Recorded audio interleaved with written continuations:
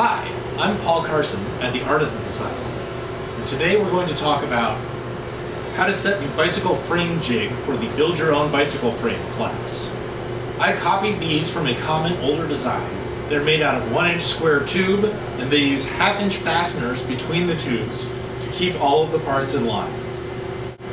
The first thing that you're going to do is consult your frame drawing. From that drawing, you'll get your seat tube length, your top tube length,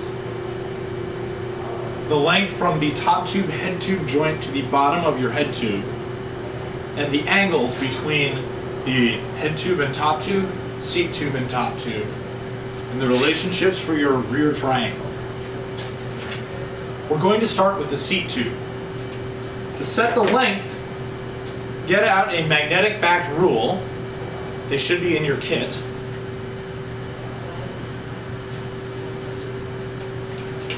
And line the zero line up with the center line of the pivot bolt between the seat tube and the top tube.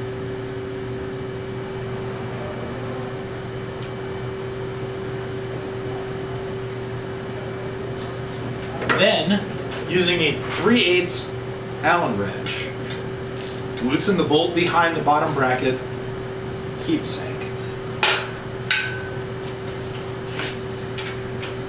And move your bottom bracket height to the desired seat tube length.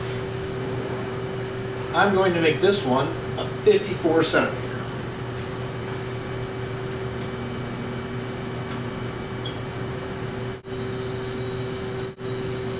Now that my seat tube length is set, I'm going to set my top tube length. Again, I'm going to use a magnetic backed rule set it on top of the top tube guide. It doesn't matter which end I put the zero on. This particular frame is going to be 54 centimeters square. I've set my zero at the head tube, top tube, so I will adjust the seat tube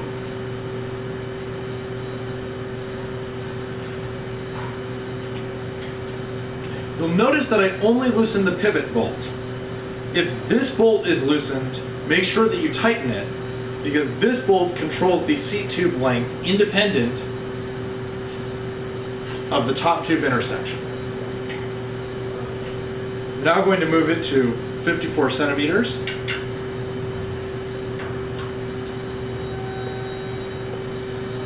And tighten but not over tighten the pivot bolt between them. Now that you've set your seat tube length and top tube length, you need to set the angles between them. We're going to be using a horizontal top tube in this class, so the angle is easy. The top tube is level with the ground. You set the angle of your seat tube between the seat tube and the top tube here, and the head tube between the head tube the top tube here. The easiest way to do this is to loosen the stabilizer bar at the bottom.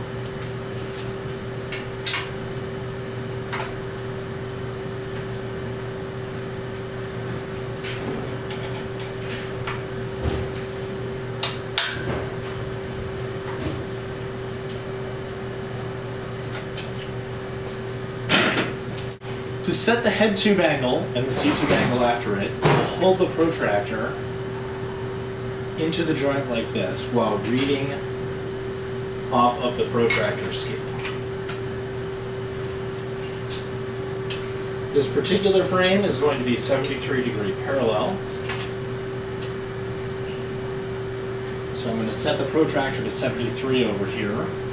Without tightening either bolt on the stabilizer bar, I'm now going to check my seat tube angle.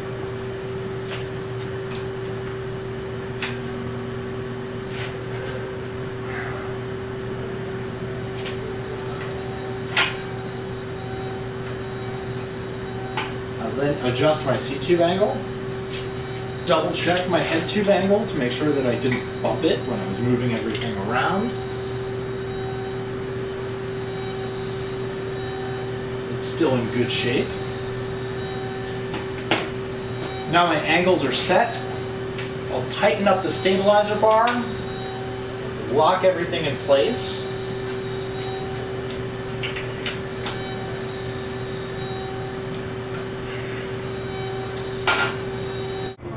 After setting your seat tube length and your top tube length, and your seat tube angle and your top tube angle, the last measurement for the front triangle is the length of the head tube from the head tube top tube joint to the bottom of the head tube. Use one of your magnetic back scales to measure from the center line of this pivot bolt to the bottom of your head tube. I tend to like to mark this with a piece of tape on the head tube slide. That way I can reference it when I'm taking my head tube on and off or moving my lugs around on my head tube. Once you set your front triangle, it's time to set the rear triangle. The rear triangle is where the rear axle goes. Typically, you specify that with the bottom bracket drop and the chainstay length. The problem with those measurements is that they're not perpendicular but it's easy to make them perpendicular with a calculator I've posted to this blog article. What you do is measure along the seat tube and perpendicular to the seat tube. It lands you in the same place, but it uses legs that are square to each other. To do that, you'll use your magnetic back scales again.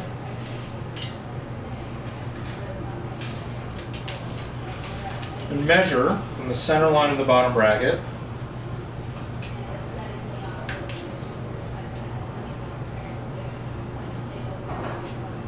to the center of the slide for the rear axle.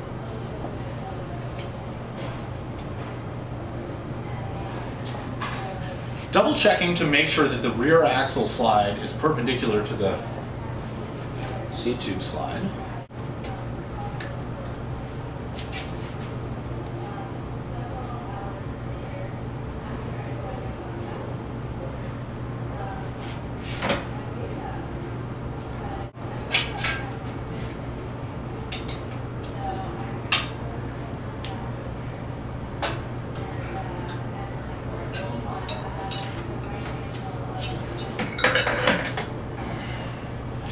I'll then measure along this slide perpendicular to the seat tube. You may need two magnetic back scales for this. The zero goes in the center of this slot.